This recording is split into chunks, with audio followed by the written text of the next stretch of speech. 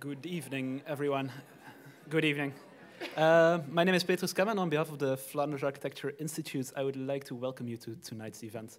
Uh, the, the, event is titled Across on Tour, which is uh, kind of a, a, reference to the broader project of Across, which stems back a few years already. Uh, it used to be a partnership by, uh, uh, with, between Flanders Architecture Institute, A Plus Architecture in Belgium, and the Université de Liège. Now we are joined by a few new partners, most, uh, first and foremost uh, ICA uh, from uh, our, uh, our French-speaking counterpart. Um, and, but the, the goal of Across has always been to, to focus on young architecture. And the title of Across aims at, at the, the main ambition, ambitions of, of this series. It's uh, to, to connect uh, across the, the, the borders, uh, the, the, linguistic borders of Belgium, but also to make a connection between different uh, generations of architects between uh, between uh, more established architects and, and practices that have just started up. Um, for this year, we have had a new look at the format of this series and how this has uh, has come uh, to fruition uh, for this year, I will leave the words to Audrey Comtesse of ICA. Thank you. Hello, everyone. Uh, we are, as ICA, very happy to jump on this uh, beautiful project across. And um, that's true that this year we decide to put eight architects from uh, both parts of the, uh, um, the of, of, of for both parts of uh, Belgium, sorry, um, and to work on one uh, theme, which is transformation, and to make them uh, work together, and to, for example, by this kind of pr uh, presentation that we're making the, tonight, and that we have made in November in uh, Doornik, Tournai. Um, and uh, we will finish with an exhibition, and for that I give the floor to Lisa from A+.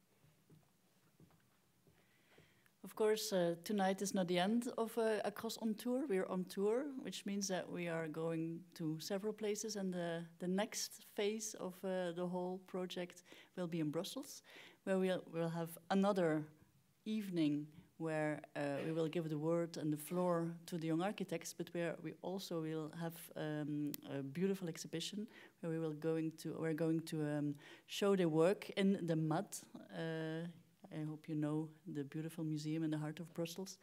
Um, and where we will show their work during the whole summer. So you will uh, be able to uh, come and see not only uh, the architects in person, but finally also physical work of them.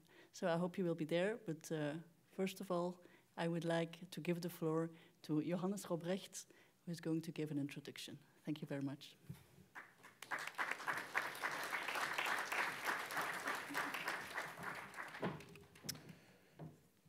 Hello.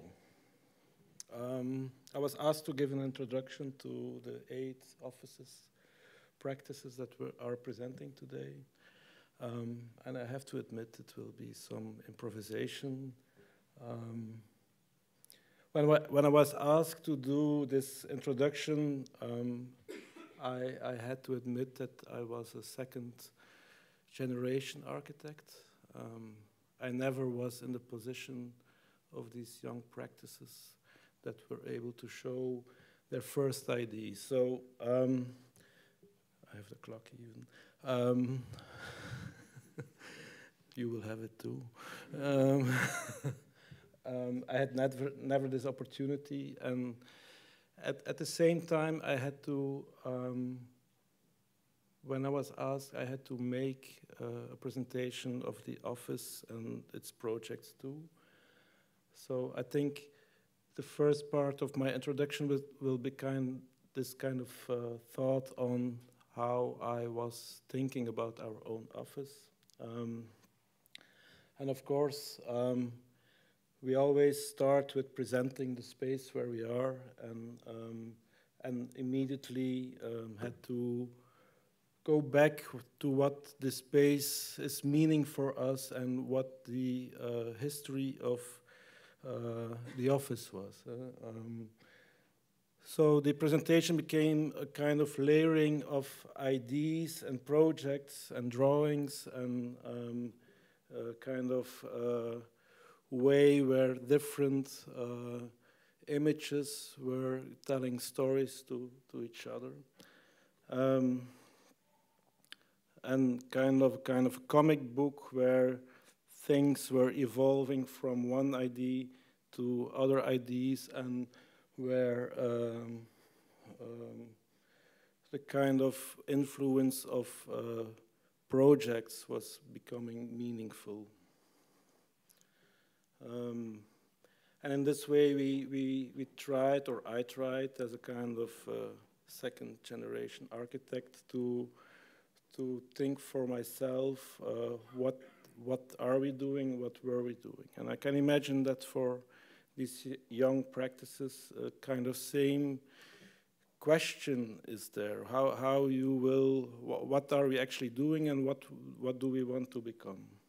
Um, so this kind of uh, presentation continued. Sometimes uh, movies were integrated from artists, Maarten van den Abelen for this one, um, to, to have this kind of um, overlapping ideas, overlapping uh, weight of, of meanings uh, through, the, through the presentation.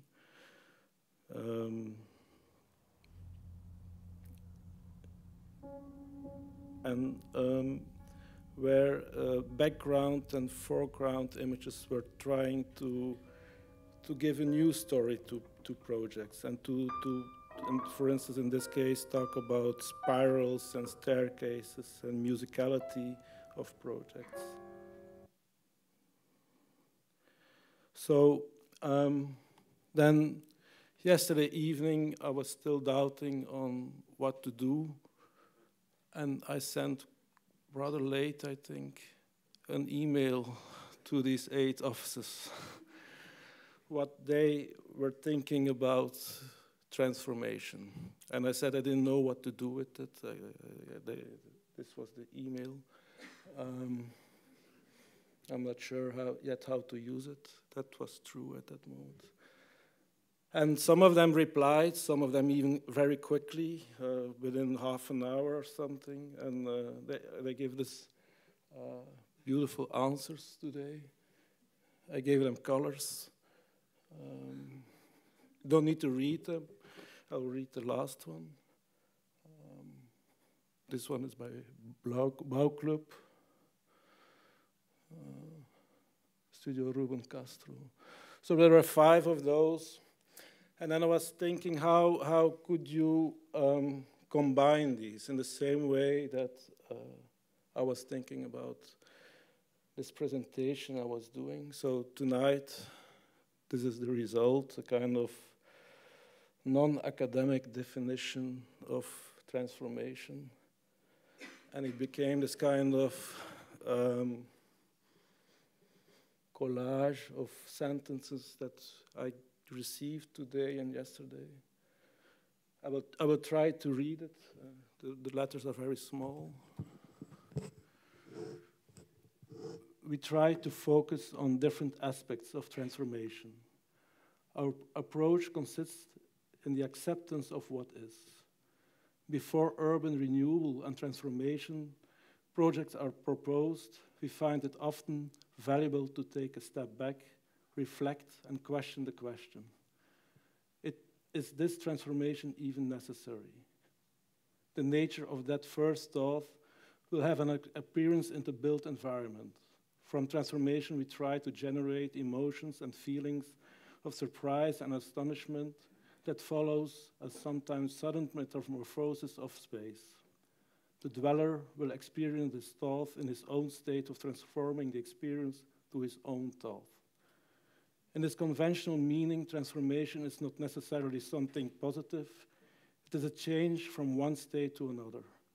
Transformation is an exercise of undribbled opportunism. However, however, when we talk about transformation in architecture, we mean a positive transition that can unlock opportunities of existing building, a site, or a space. It is about inspiration we get, a celebration of imagination instead of spatial transformation? Can we build further on meaningful existence from forms of life? Can we strengthen them and the relationships are kind by means of architectural and urban design. The state of thought being transformed by an act into drawing, which on its turn is changed in its form to a model.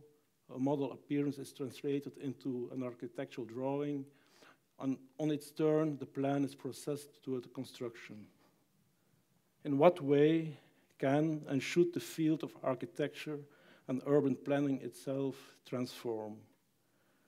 Transformation materializes and concretizes the meeting of different moments and functions that the same element can represent with an optimization in the face of time. It does not necessarily mean a drastic change and can be achieved through subtle interventions which can result in major improvements of the space, the way it looks or functions, or in the, or in the new way people comprehend the space. So we hope. So these are the eight wonderful practices that will show their work today. Um, I hope this was the order of the day, but apparently it's something else. So I'm sorry. That's something new I figured out. So. Um, you will start with Wissel Studio. Have a great evening.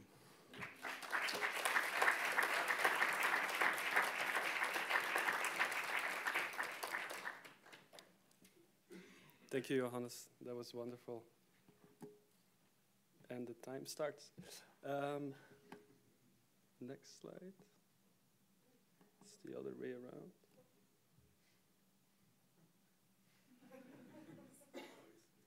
Okay. Hello, my name is Marius. I will be representing Wissel Studio today. I work together with my dear friends Leonard and Felix sitting over there. I'm going to present uh, two projects we did here in Antwerp during the last uh, two, three years. One architecture uh, project, slow project, and one very fast scenographic project. the first project is uh, a house we renovated in Berchem uh, you can see uh, the project as we found it on the left, and it was a really solid house, but it had no connection to the garden, and it didn't have a lot of light in the living room areas. Um, we introduced the idea of uh, a concrete table to lift up the the massive uh, the massive volume where the bathroom was, which we wanted to keep. And also in that matter, we could like reorganize the spaces on the ground floor. As you can see on the plan, the concrete table drawn in, in blue it makes it able to, to make a sequence of four rooms, the two existing living room areas coming to the kitchen and coming to an extra living room area near the garden. And in that manner, we can open up the whole ground floor to the garden and it enables the residents to, to live in an interactive way. Apart from that concrete table, um, the plan was orientated north, so we could use a lot of glass in, uh, into the new situation without the risk of sun. So uh, we always try to look at historical references and the theme of the presentation today is how we transform historic references into our new ideas and we learn from the past and transform it into new uh, details. We looked at the winter garden of the Ursuline Institute in Mechelen and we kind of filtered out the Art Nouveau ornament and transformed it into a new kind of detail which used some uh, smart principles of that winter garden but also uh, transformed it into uh, a detail that was able to build today, also with, uh, with the glass insulation. So it's more than a winter garden, it's, effect, it's effectively an, a real window.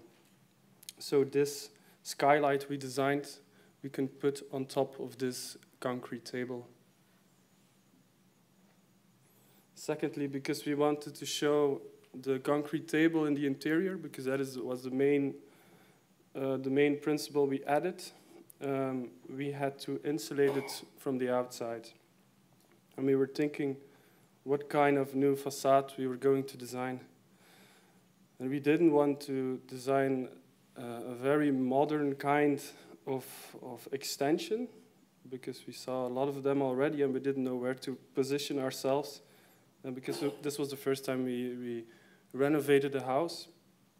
And we were very charmed by this reference of Edward Hopper, and specifically in the way he, he drew the profiling of the roof detail. And we transformed this idea into the profiling of the roof of our extension. And um, it was a combination of, of zinc and then the gutter detail. And we tried to uh, transform it into a new kind of profiling.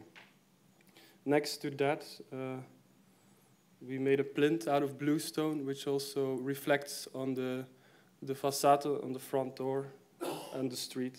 And in that way, it, it was a, it tied it, the whole thing together, material-wise.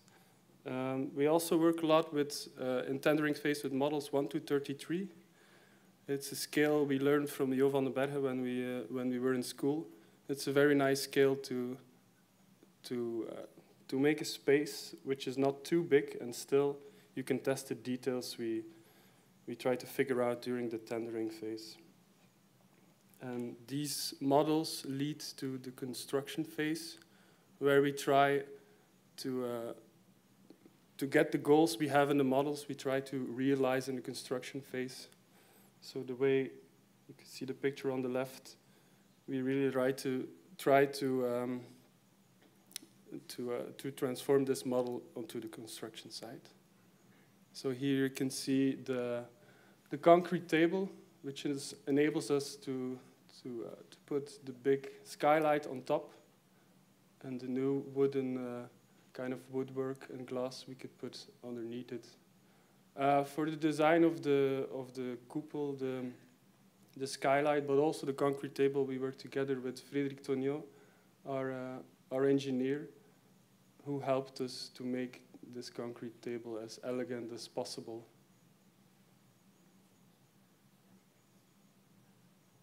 Next project is a, a scenographic project we did for the festival Contraire Open Air in 2019. It was the last wild summer before lockdown. Um, Michiel Helbig uh, from KU Leuven invited us to design the second stage for the festival. The first stage they were designing together with students. And the festival site was, uh, was next to uh, the docks of Antwerp. Um, so the first thing, the first reference that came about was the dry dock next to the site. And the concept of the dry dock, uh, a massive construction which enables to control the water level so you can work on the boat that idea was transformed into the concept of the stage, where we could control the people that came on to the stage, and it had the same kind of um, curved atmosphere. And on the right, you can see first design sketches we made. Then we, we transformed the massive idea of the dry dock into a temporary structure because it's a festival for two days. So we used scaffolding. It could be rented.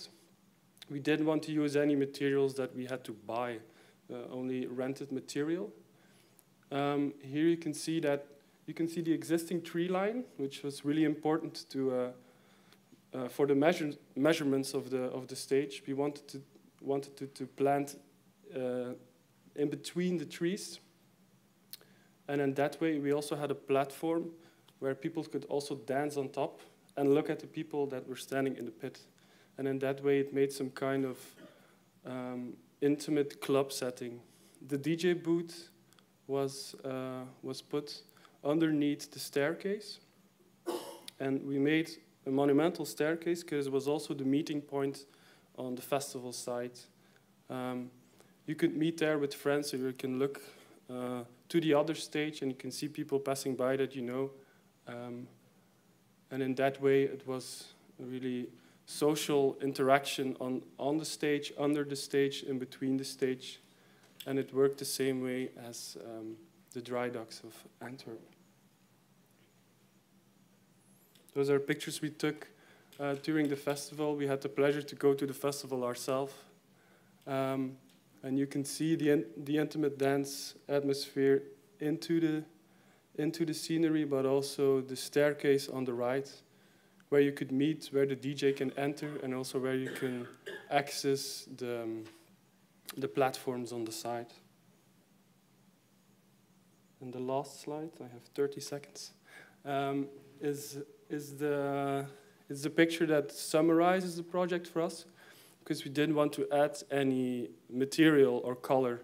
So we used the existing scaffolding and a, a white typical fabric that they use on scaffolding uh, to, to capture the dust from falling onto the street. And the scenery was really, um, it was a really cold scenery without people. And the project really happened when people entered, and you can see the colors from things that people were wearing, but also the lightning from, uh, from the DJ system made, uh, made the stage come to life. Um, so I showed you a slow architecture project and also a very fast scenographic project because we think at Wissel it's really interesting for us to do those two scales and those two speeds to keep ourselves entertained in a practice that is so uh, slow as architecture. Thank you very much.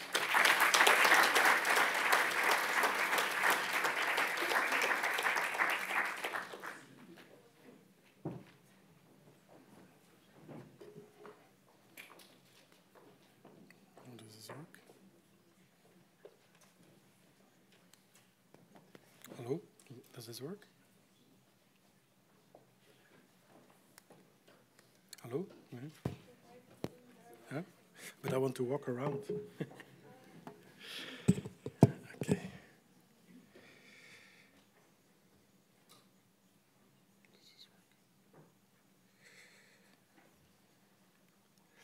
Hello, good evening, everyone.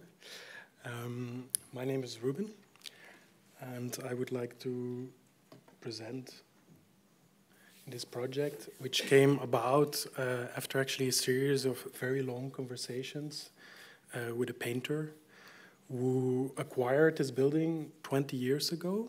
Uh, and this building is an old distillery near Hasselt, where they distilled uh, the typical Genever, the gin made out of juniper and grain. And he sort of, together with his twin brother, like very rigorously for 20 years, did like this typical Belgian kind of renovation, but with a lot of care. He sort of renovated the whole building himself. Um, he sort of also, what do you say? Does this work? He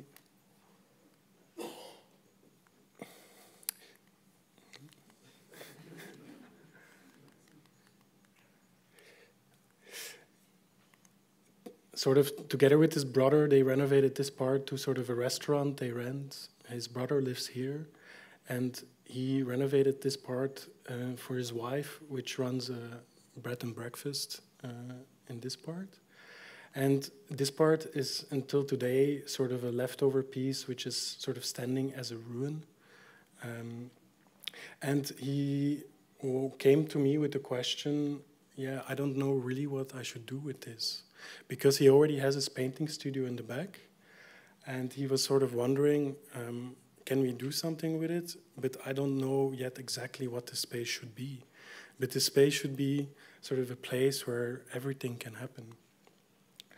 And we came to the conclusion uh, that uh, we would make a proposal based on our conversations where we sort of uh, try to make a space that is sort of a cultural space where he can invite people to do a residency, but he can also organize a small exhibition, or he can also have like a nice evening with candles for his wife, and he organizes sort of a nice cheese and wine evening for the guests.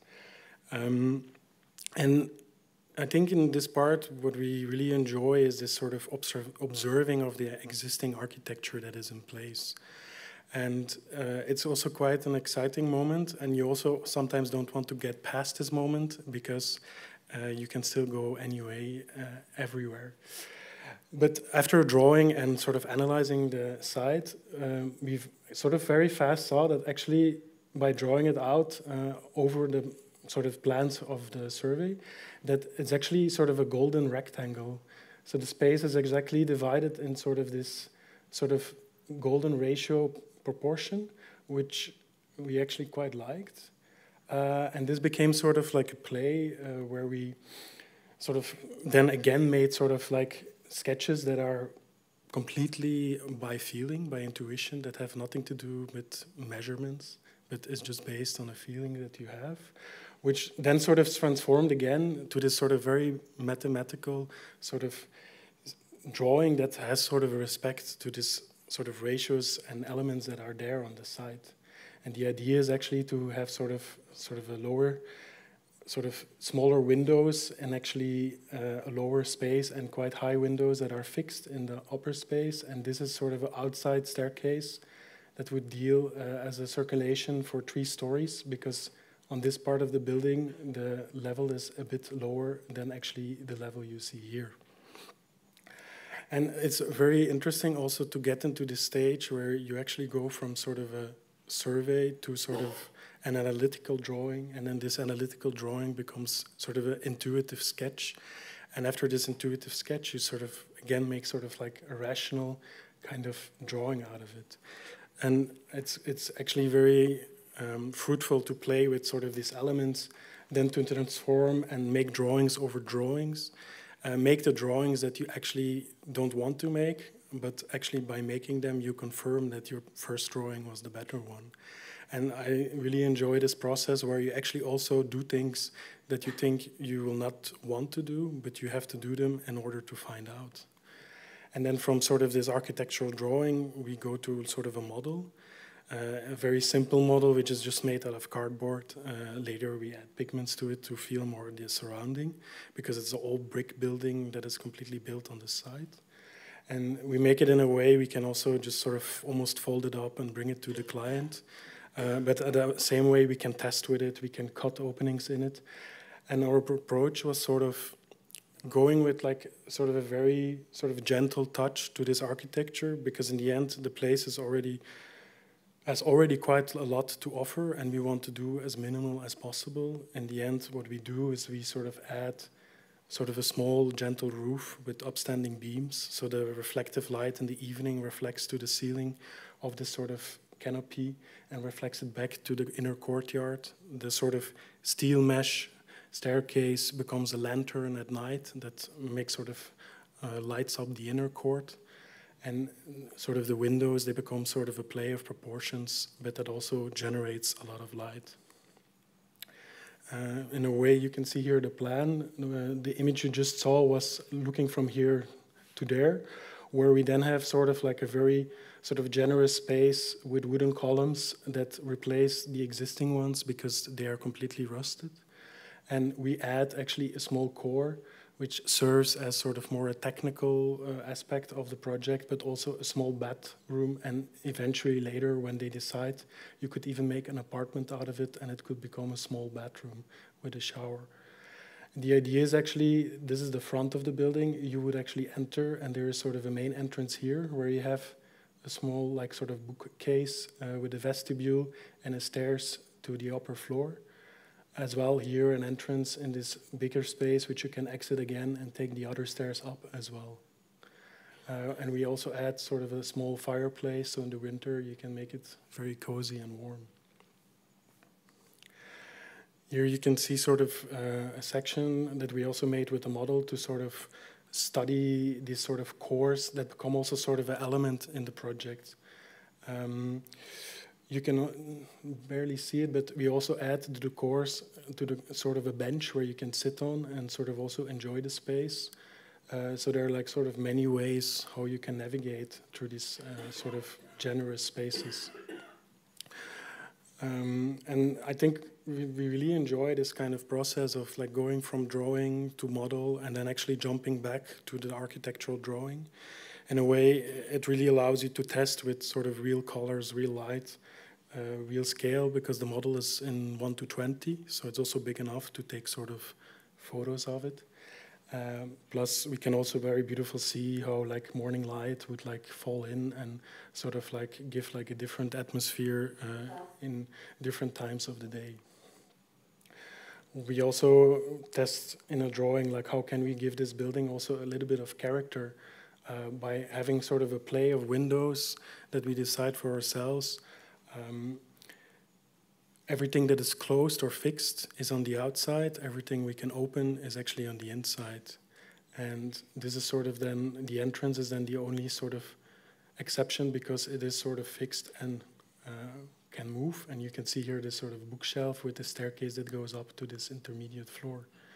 And I think this is the beauty of sort of like uh, of architecture that you have actually this power of going from this sketch to this drawing and then back to the model and then sort of make sort of an architecture uh, that is sort of in a search of uh, a space that can be used for everyone uh, in, in a sort of very generous way with sort of minimal uh, yeah, impact that we try to do in this project. Thank you.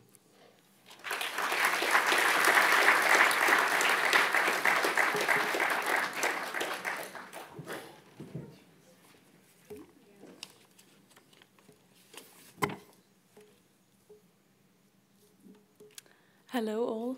Um, thank you for being here. Um, when I was making this presentation and thinking about this main theme of transformation, um, I walked that day over this bridge. It's the bridge um, that leads towards my studio. And I thought this is actually a quite nice illustration of what this theme of transformation means to me in my everyday practice.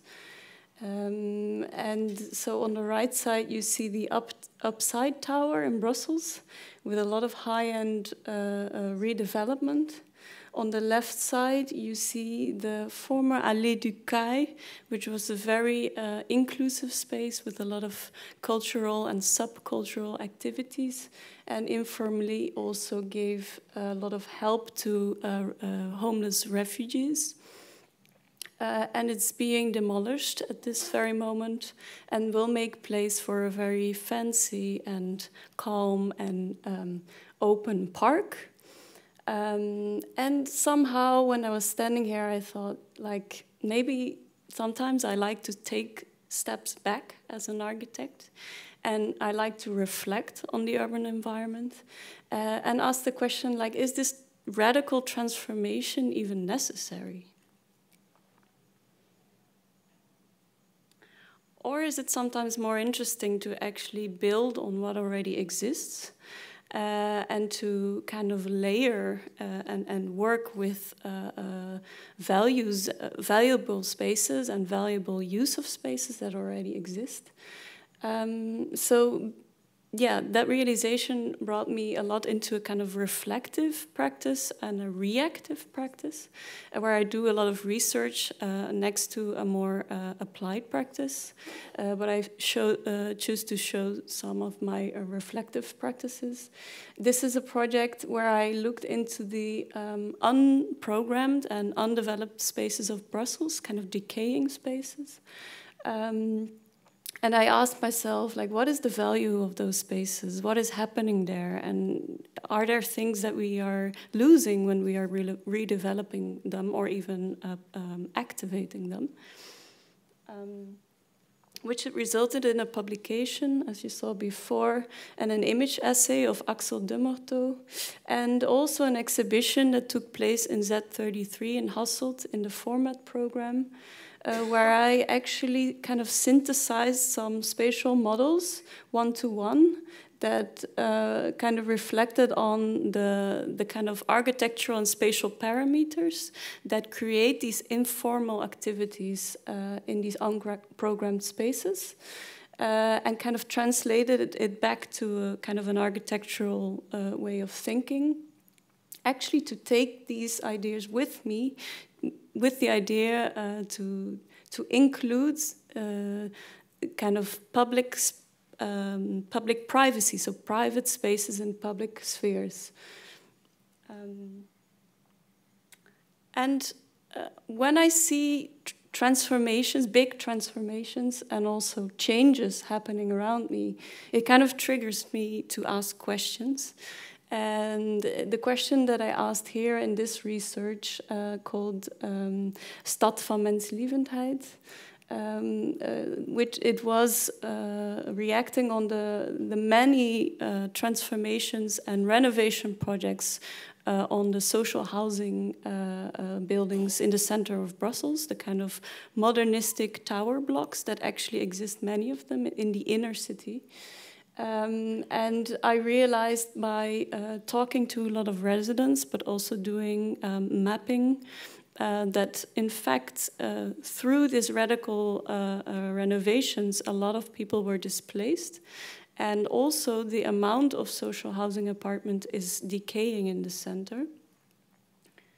Um, which, yeah, it resulted in a publication um, and also an exhibition in my practice, I, I like to make these questions public again. So these exhibitions are a way, and also the publications are a way to uh, to kind of synthesize my reflections, but also take another step and bring this publication, for instance, to the people who deal with urban planning. Uh, I was able to uh, uh also talk to the Brussels Bouwmeester and um, also uh, in this exhibition talk to quite some people in the Netherlands. This is in the Jan van Eyck Academy where I did a, um, um, a residency there. Uh, and during these exhibitions, there were quite some conversations happening, uh, which also was part of the setting. Um, but somebody told me you should do this research in the Netherlands, uh, which we need you in the Netherlands. So I am I'm currently looking at um, uh, the renovation strategies in, in uh, Rotterdam and Amsterdam um, to understand actually, um, yeah, how can this process of a, a lot of demolition uh, uh, change into a process of um, renovation without displacement? Um, so, how can we imagine uh, places that are truly inclusive and take into account kind of uh, meaningful forms of life or small forms of life. Um, this is this is something that I that I deal with in my practice, and one way is uh, in this case it's a project that took place uh, in the square in front of the Singel here, uh, was to create thought images. Um, and I created this series of thought images within the setting of Laura Muldermans, which I was uh, able to, to use, the tables and the, and the uh, seatings, um, to make a configuration on the square and show my own practice. And it was, uh, the, the thought images were based on the building of, of Léon Stynen on the Singel here. Uh, and uh, it was an exercise for me as a designer to kind of how to build on things that are already there, how to imagine extra layers on the existing environment. Um, so I took uh, pictures uh, together with Elias Terling, uh, and these these photographs they served as a kind of basis for uh, a kind of collages and drawings um, that were thinking about what could this public uh, inclusive environment look like so yeah, in in a, in a kind of taking steps back, uh, it is interesting to me to think of ways how to to find the existing values of of existing spaces, and um, how, as a designer, react on them, and also take into account the the social relationships that are already uh, in place, how to actually emphasize them and make them make them bloom somehow. And yeah, this way of kind of taking images and collaging and drawing over them is one of the kind of tools that I created for myself uh, to, to take really into account what already exists. Um, and that's also what I take into my applied practice. Thank you.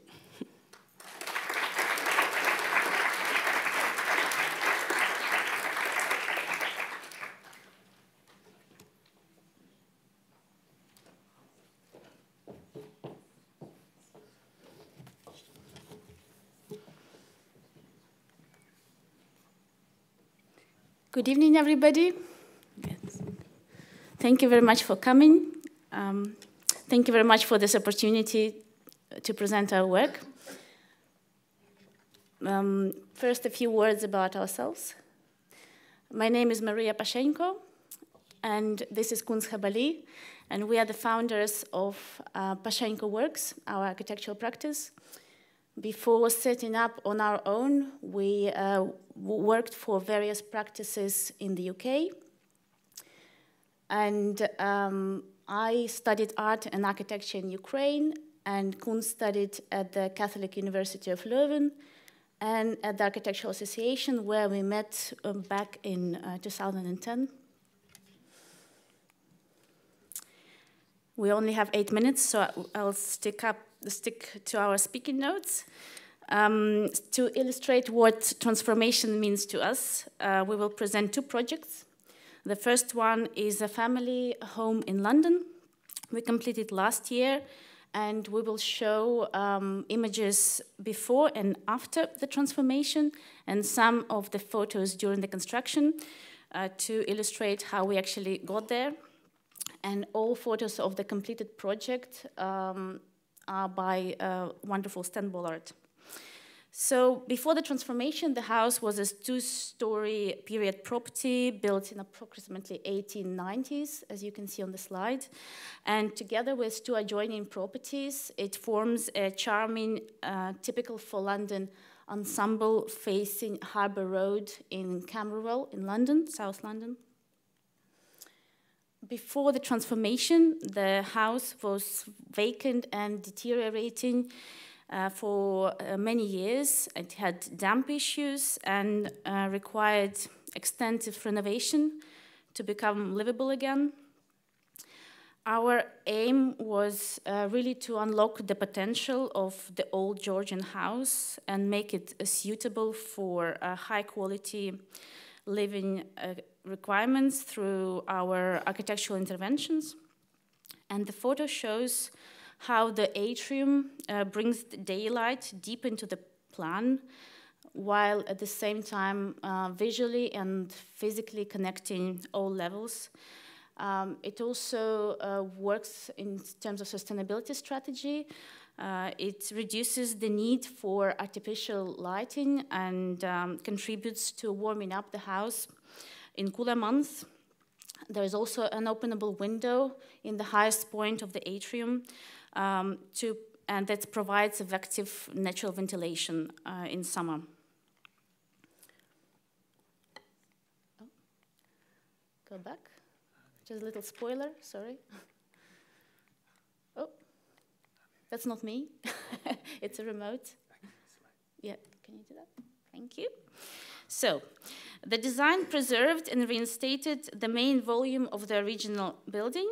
The long section on the slide shows that the project consists of five distinct parts, which can be experienced in sequence when entering the building. Uh, first is the original Georgian terrace facing Harbour Road. Uh, two is a glass bridge, atrium that connects the old and the new. Three is a new build extension at ground and first levels, Four is a patio garden framed by five, a garden room at the opposite end. The space sequence is thought through not only horizontally but vertically as well.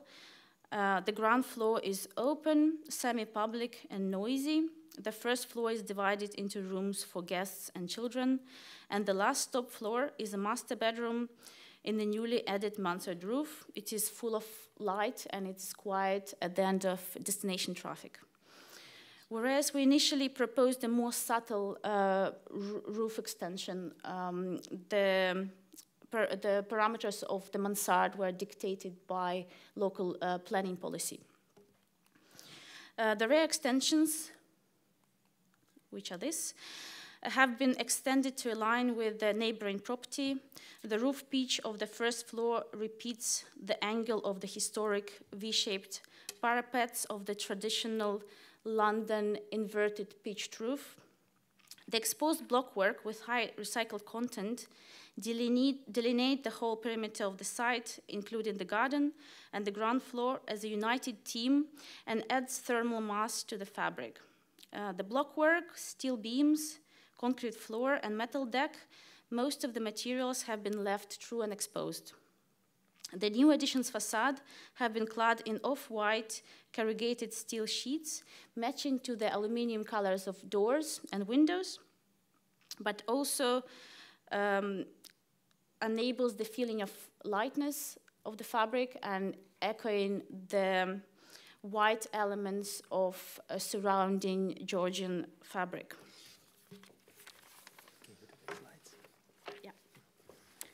Um, so the last in the sequence of the ground floor is the garden room, which frames and also completely opens up to the garden. The garden has been conceived as a patio between rooms of the house enclosed in blockwork walls.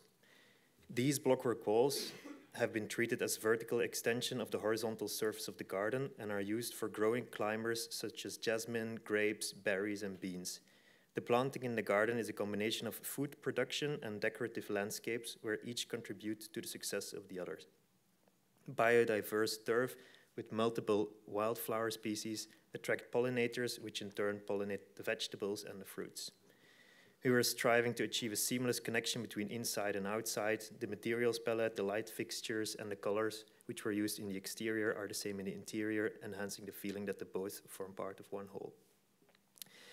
The traditional sitting room facing the street has been transformed into an office to allow for hybrid working from home and forms a buffer between the street and the private spaces. The desk allows for two people to work at opposite ends. It consists of a very thin tabletop of 12 mil birch plywood topped with burgundy linoleum. Four timber planks form the table legs and are black stained to achieve the effect of a floating tabletop. A cable tray underneath is put under tension for the structural sturdiness of the very thin tabletop. The design can be downloaded from our Instagram page for any DIY enthusiast at home. The office desk has been developed by us for a co-working project in Kiev, uh, in Ukraine, we delivered a few years ago. The project entailed the conversion of a two-story warehouse on the fringe of Kiev to make into a co-working community. The spaces were designed to accommodate various modes of working, a combination of an open plan office, modular enclosed offices of various sizes, and various meeting rooms and communal areas for informal interaction where opportunities for collaboration and exchange of ideas uh, and knowledge were maximized. In the busy launch, we placed a long collective table where everyone could join in, where accidental, overheard conversations sparked common projects and inspiring collaborations. We were successful in creating a motivating and inspiring atmosphere of community, openness, support, collaboration, and productivity, which holds today even in times of war. And although the scale of the project was relatively small, this transformation resulted in the creation of a productive ecosystem around it. And as a closing note, we wanted to say that while before and after images uh, show the as if by magic transformation, the images of construction show how much blood and sweat goes into every project on the daily basis. And uh, seeing the images before and after is uh, what is so wonderful about our profession. Thank you.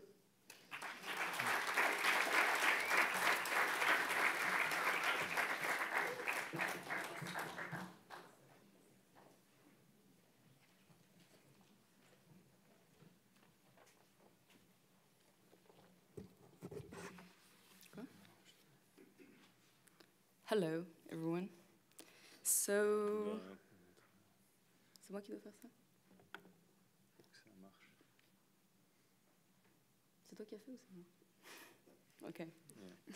So during the first Across lecture in Tournai, we talked about transformation in the most intuitive and direct way we, we thought about. So we presented three renovation of traditional brick buildings and today we wanted to talk to you about the subject through a larger range of, of projects. The presentation will be on, yeah, it's going to be a didactical presentation. So on one side, uh, build projects, and on the other side, uh, research projects as art installation or um, publishing works, by example.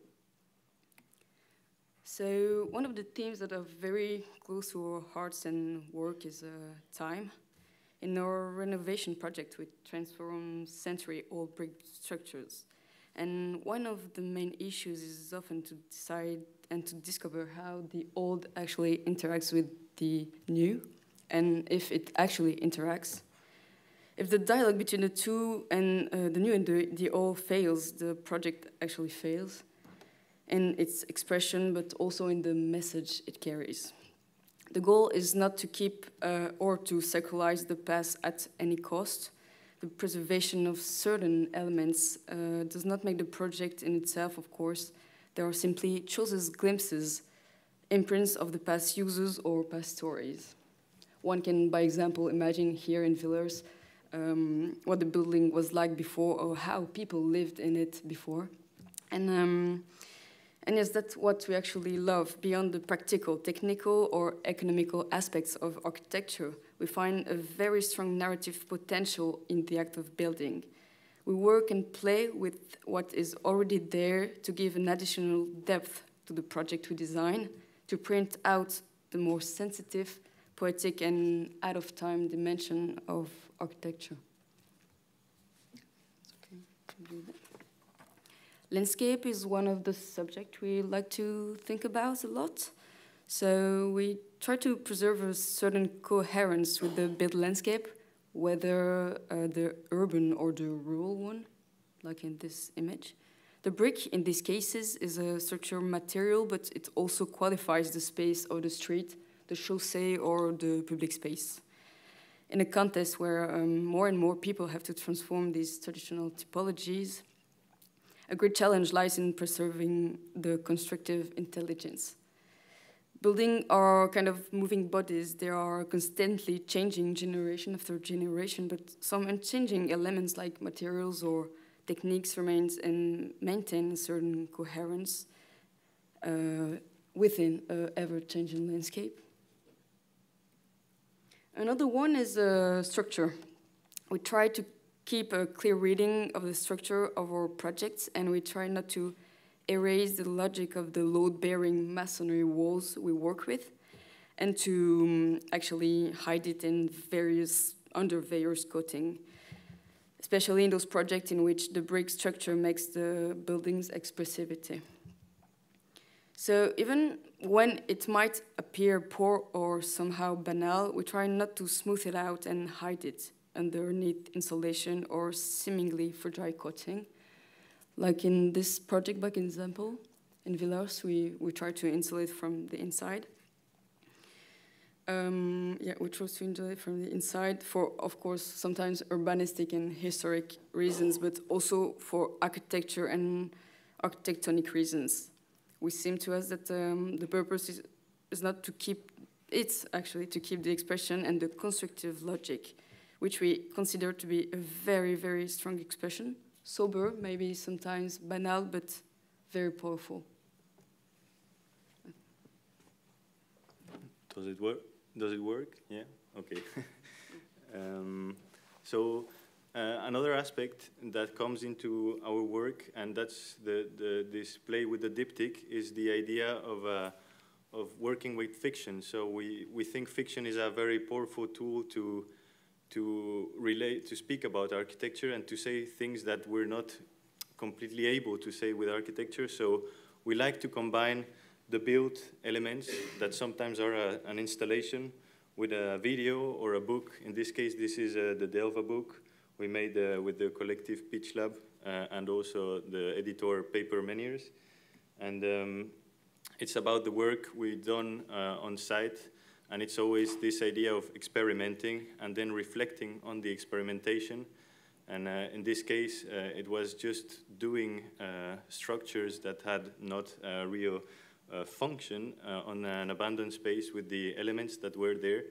And it was all that came between the game of coming uh, into fiction, then into reality, into fiction, and writing about it, and making a false investigation around it and all that comes together in a, another way of reflecting uh, about architecture.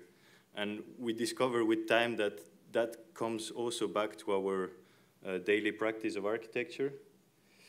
And um, uh, sorry, uh, I forgot one point. And um, so what we, we like about this is um, this idea of uh, Bernard Rudofsky that says uh, architecture is not an art or, or something that you command or it's a, a, need, it's an urge that people have to do uh, with the materials they have around. And uh, it's what we kind of felt in, uh, in, during our studies and then afterwards, one, once you're in front of your computer almost all the time and you're not doing something, uh, and and building and then reflecting was something we we really uh, cherish and we try to apply every time in our projects because we know that comes back afterwards to us. And we wanted to finish with uh, this uh, last intervention we did in Delva.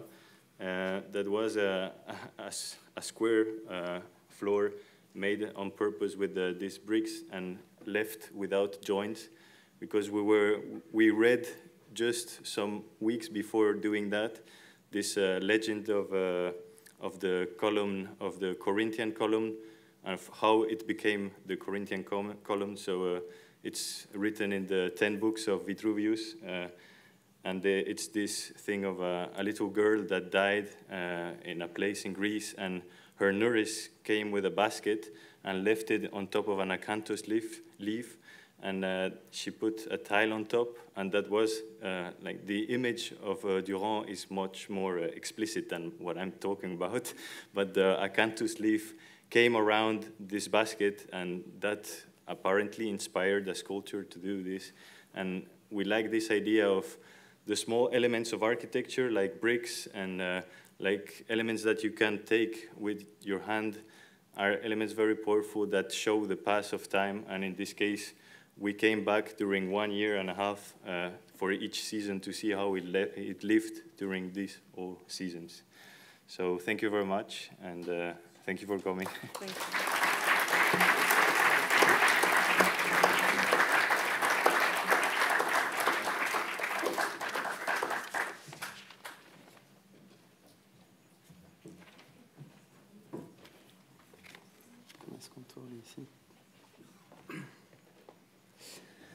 Thank you for being here. So the office is now two years old and composed of four associates, uh, Maxime, Florence, Morgan, and I. Um, during this very short time, uh, we'll bring you through three competition projects we did last year. Um, our common ground is to produce usual usable buildings which offer maximum um, of living condition for a minimum of means. So today we will not speak about program uh, since it's not really an obsession for us um, as it's versatile. We like this image of ruins in state of becoming. Uh, they are not demolished. Uh, the construction has simply stopped. It's not about program, it's not about function. It's about the potential of a building and how it can absorb one vision or another. We don't want to constrain, but to produce the condition for a building to be capable of reinventing itself in response to the instability of uses.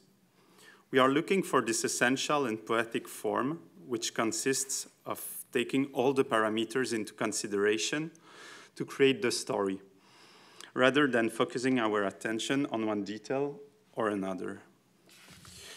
So the first project we'll show you um, tonight is the Faculty of Architecture of Liège. It's a competition we did last year uh, with Myoto and Baumans Deffet. As the programmatic ambition does not match the budget, uh, we propose to intensify the activity where it already exists, near the workshops that you can see left and right. The new building figures create um, an important urban interface that announces the presence of the faculty within the very hermetic site um, of the former barracks. The starting point of this ruined state of becoming is to offer all the structural and technical needs uh, necessary to implement the new program. And as mentioned, a program that is subject to change uh, since, we, since the budget was very tight. We are often seeking for a limited amount of intervention uh, that creates a maximal impact. It is a very simple building composed of a series of slabs, as you can see on the, on the right of the image. And it's fed by 10 shafts that are both the structure and the natural air supplies. The building offers two conditions, the upper floors, continuous slab allowing the introduction of mezzanines, and the plinth that acts um, as a public gift, let's say, uh, that is a large true square between the, between the two existing buildings and between the, the inner campus and the city. It somehow opposed uh, to the introversion of the plan, as you can see, uh, that is really turned um, inside, let's say, the, the plot.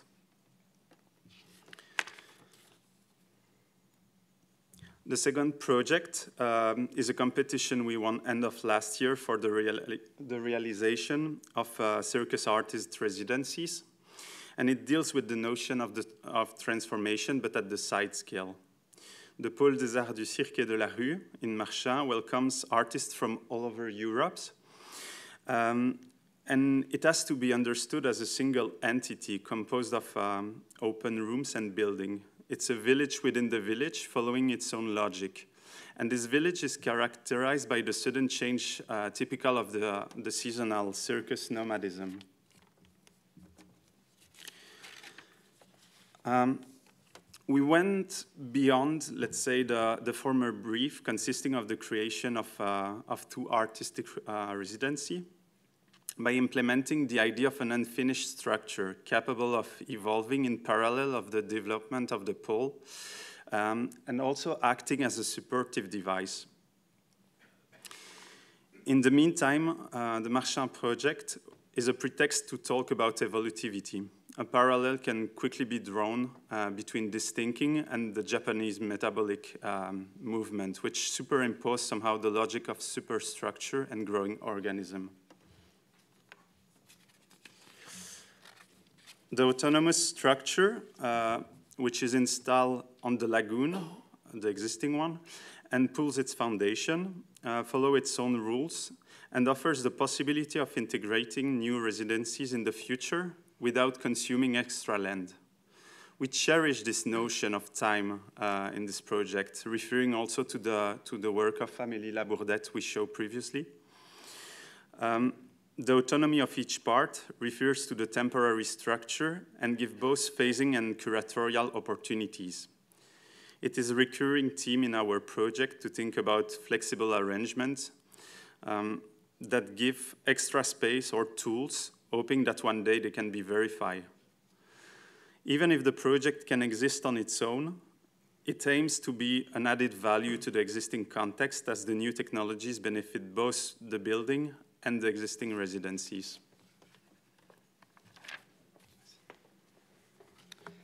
Last project, um, another second prize on a, on a, second faculty of architecture with our friends from Sergi Base. Here we clearly approach the question of transformation head-on. The request is simple. The first phase consists of the energetic renovation of the facade. The second phase consists of the integration of the program. This phasing is linked to a subsidy and requires the first phase to be carried out while this building is occupied. Our response was to go beyond the conventional answer of replacing windows, and uh, the system we propose on, the, on this project consists of extending the, the existing English courtyard over the entire height. This perimeter mediates the interaction between the, the existing plinth and the surrounding square offer informal encounter space and opportunities, as well as an alternative circulation. This confident gesture was rooted in the overall climate strategy of the building, providing natural sun shading, a climatic buffer zone, while in the meantime keeping the existing building untouched and protected. This extra layered is conceived as a big scaffolding in the same logic as the existing building that's it for tonight. Thank you.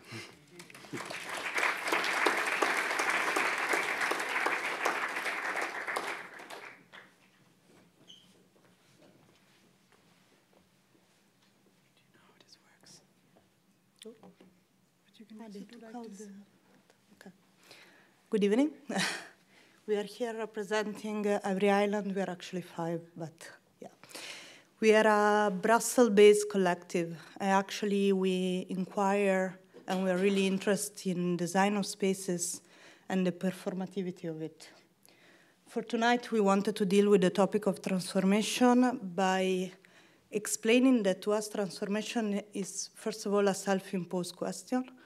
And that question is, what is the minimum of element that need to be inserted into a space in order to change the perception that the people are going to have of it. Uh, for doing that, we are going to walk through some of our project, and for the first time, we're going to show it in Plan. This because Plan is not a tool we use for narration, but has been always a plan, as all uh, people with architect background, we use to communicate between each other in the developing of a project. Uh, this is the first project we actually did, and we were uh, confronted with the context of a big abandoned building uh, in the European quarter of uh, Brussels. The first idea that we had was to actually build up a narration, a sequence of spaces, and the focus was to change the perception that the people will have of the space, to disorient them into kind of neglecting this repetition of the concrete bare spaces is repetitiveness, but actually creating new lines, new unexpected views by compression and dilatation of the space. This was done uh, by creating uh, from an elevator room to a overscaled living room to a bedroom hanging from the ceiling and kind of uh, playing with the boundaries of private uh, and public space. And the second project that we would like to show you is actually a project that we developed uh, in Italy. So we were asked by a cultural collective from Ghent to develop a temporary pavilion. And since the first conversation we had with them, uh, the temple, uh, the pavilion was actually defined as a temple. And so uh, when confronted with the site, this time a completely different uh, uh, situation, since it was a public square in a small uh, city uh, of Santarcangelo, we decided to approach it in a literal way. Let's paste a, a temple into the space. This was done to understand what are the elements, actually the minimal element that makes a temple into a temple the answer was quite clear. You need a diaphragm, a colonnade, and you need an intimate space, an house.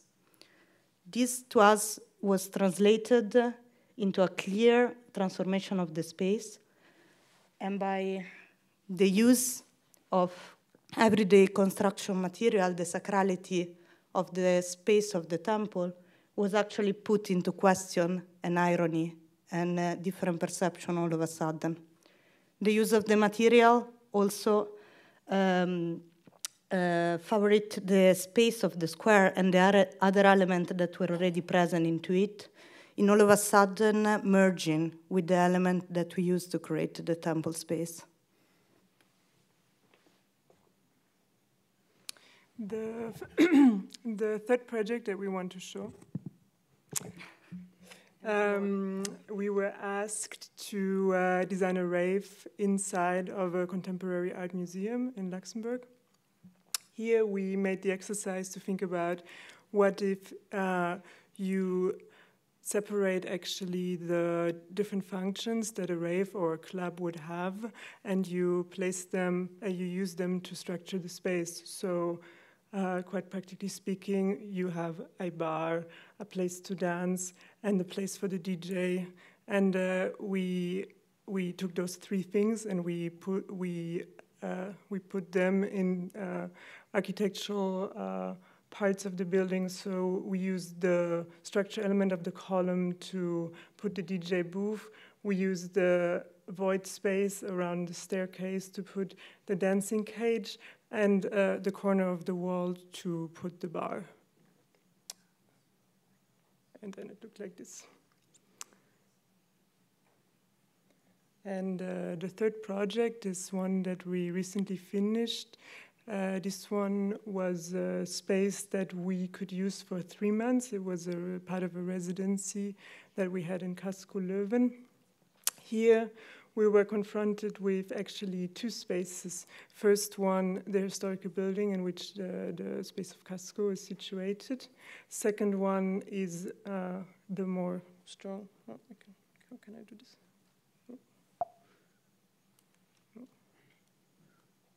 Ah, yeah. Second one is these walls, which were actually built by the first resident of uh, Casco, um, which was a project that was never finished. Uh, so it was like it had a certain intention of a narrative, which then was never realized. And we thought it was kind of an interesting uh, a basis. Uh, a building which uh, used to be uh, a brewery and then became an artist residency, and uh, another room inside of that room, which was supposed to be a space for gathering, but then became like white, unfinished walls.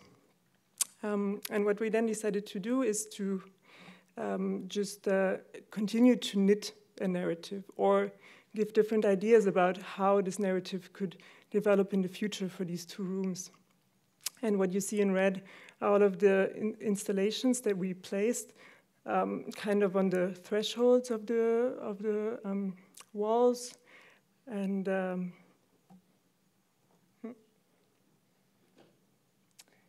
then it looks like this.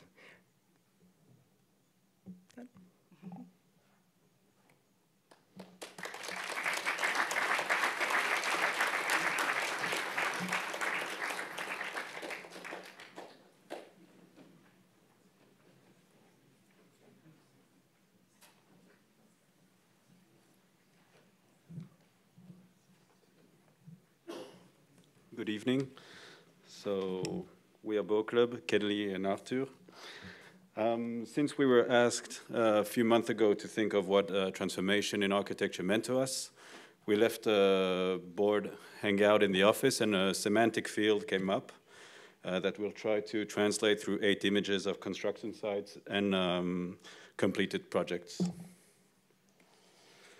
So each architect has a different uh, attitude towards the context and nature of uh, transformation missions. Ours is based on the principle that transforming is always um, involved in any act of drawing and imagining spaces, and that it intrinsically involves working with existing or pre-existing material and elements.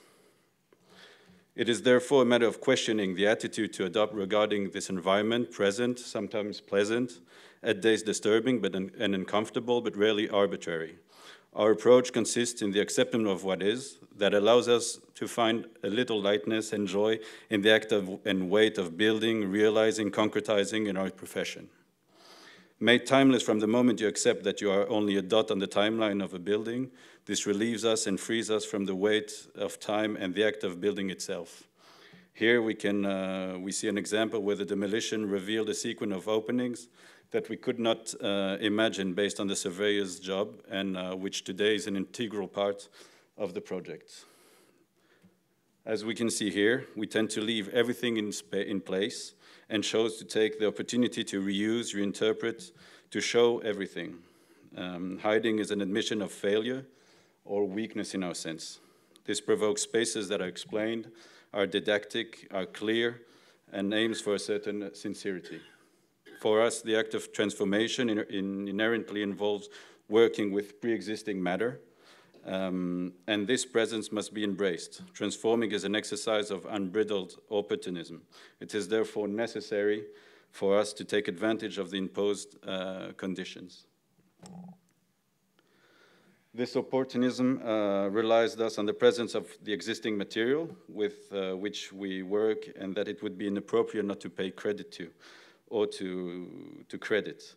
We only try to input our point of view on a condition and adapt it to the new usage, usages and treat each element with respect. This humility regarding the existing uh, also decomplexes us. We must integrate it as a major parameter in the story we want to tell.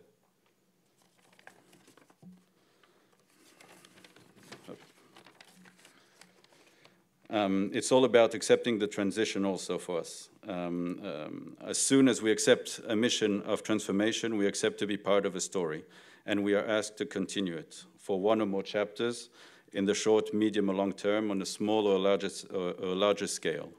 These witnesses of the past are therefore integrated into the exercise that we want to be as inhibited as possible. Transforming materializes and concretizes the meeting of the different moments and functions that the same element can represent with an optimization in the faces of time. This attitude confers us an optimism in the, in the face of past, present, and future contexts, and, all, and allows us to consider future-proof drawings as well.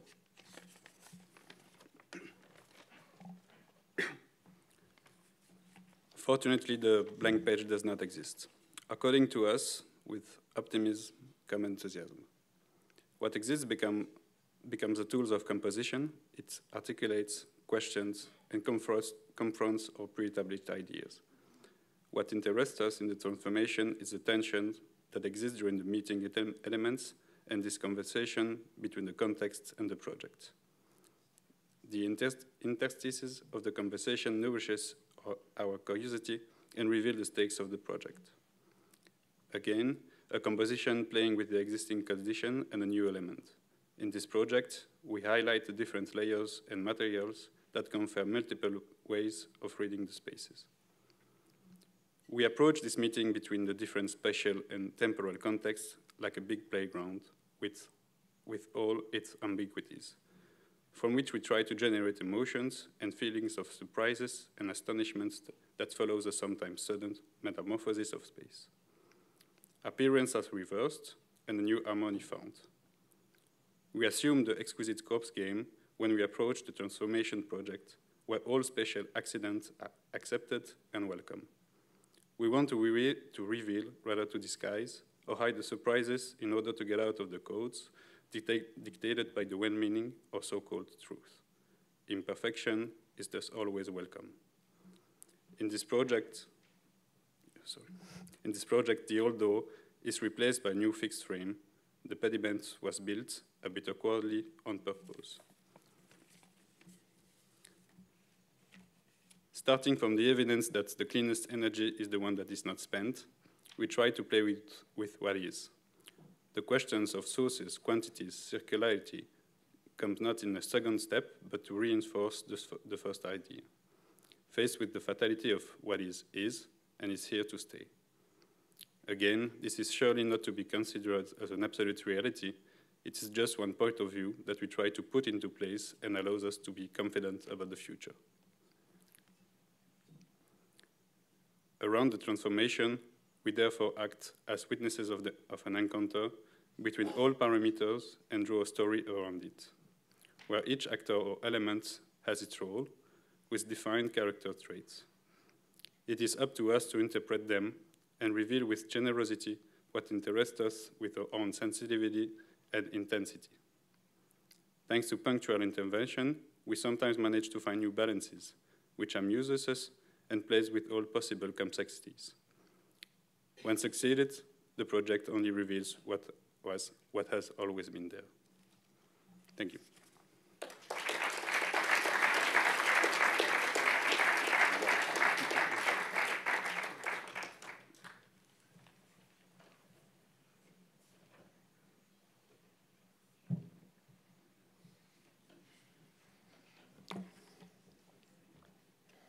A short conclusion. Um, I, I came to learn about eight offices, and uh, of course I, I've, I've learned to know, know them now. But um, pro probably this was not what happened tonight for me. Um, I think I learned that experiment is what is happening in this, these young practices. Um, awareness for for context is what is happening. Um, what I've written all down. Um, the idea of embracing temporary projects, fragile projects, um, and and I think this is very exciting to see that um, that in, in even in small commissions you find the freedom to do what you want. That's my conclusion.